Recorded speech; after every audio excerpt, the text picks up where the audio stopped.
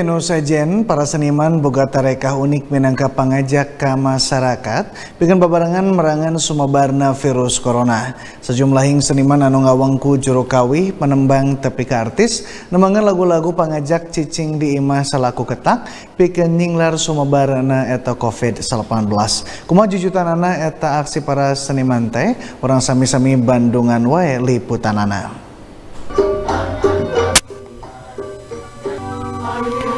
Minangka kahaat kapapada warga negara anukernya harapan musibah wabah corona utamana ka para petugas medis jeung reng-rengan pemerintah anu hat merangan COVID-19 sejumlah seniman timang pirang komunitas ngahaleangkeun lagu-lagu panggeing pikeun babarengan ngalawan corona Eta lagu teh dijieun secara daring ti imahna para seniman anu satuluyna diadu maniskeun jadi lagu pangajak jeung panyumanget merangan corona khususna di Jawa Barat umumna di Indonesia.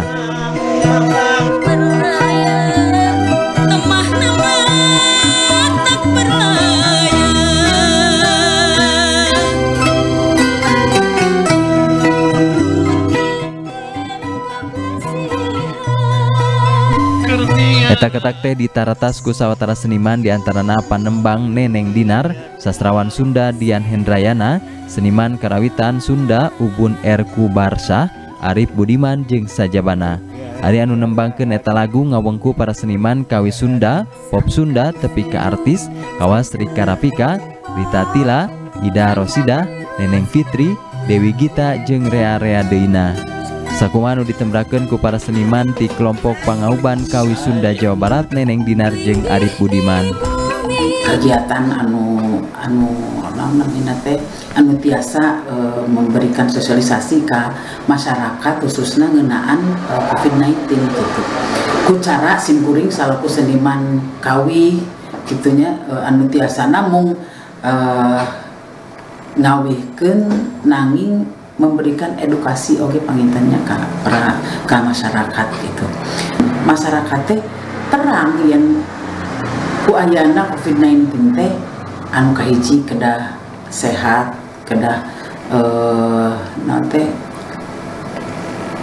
titen karena kebersihan karena kesehatan anu tangtosna utamina ngandoa ke Allah Subhanahu wa taala. Beberapa seniman yang ada di Jawa Barat seperti Rita Tila, Rika Repika, Dewi Gita, bahkan artis-artis terkenal lainnya.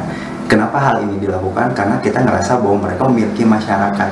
Mereka memilih para penggemar yang otomatis ketika ini dilakukan akan semakin mengkirakan si karya ini gitu. Tadinya seperti itu dan alhamdulillah para seniman-seniman yang populer tersebut juga mau bergabung bersama kita sehingga lebih memudahkan kita dalam mensosialisasikan tentang corona melalui uh, media yang sangat menghibur ini. Yuk orang terus berjuang Babarengan kurang perangan Pandemi corona. Wabana sina gancang ilang. Para dokter jeng perawatna Para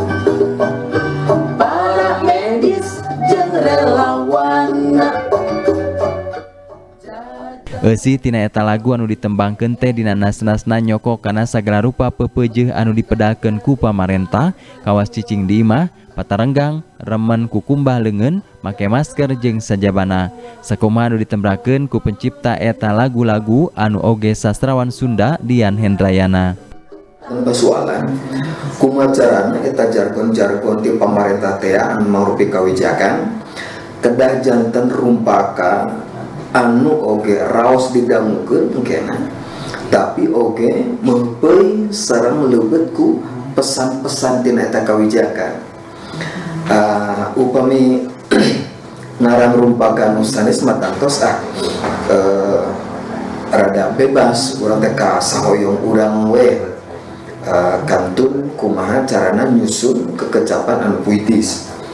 Nanging dina ngadamel rumpakan Imah jantan Jitang tangan kuman cara ngalebetkan kata jargon sarang kaujakan pamarentah?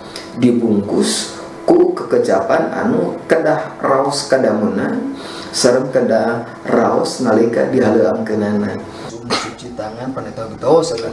Kaliwatan lagu para seniman boga rongan sosialisasi ngenaan bahaya corona bakal leuwih nyelesep kana hate jeung pikiran masyarakat. Lantaran ari lagu mah mangrupa seni anu bisa ngaubkeun emosi saha wae anu ngapresiasina.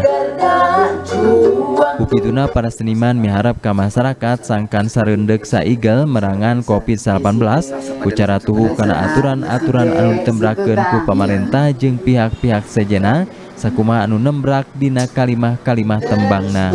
Iwan M. Ridwan Bandung TV